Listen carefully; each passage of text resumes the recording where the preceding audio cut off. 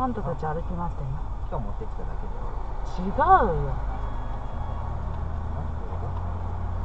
あそういうことになりましたあはい蜂蜜レモンなんなんだよ。蜂蜜で。うんちゃんと乗ってからにしてくんないかな。こっちぐるって回んなきゃいけないんだよねやめなよさとちゃん。うるさいから。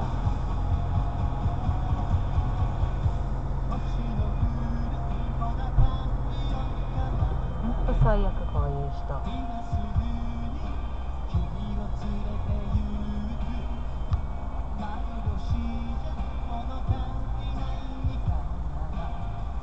と最低。さすが世田谷だよ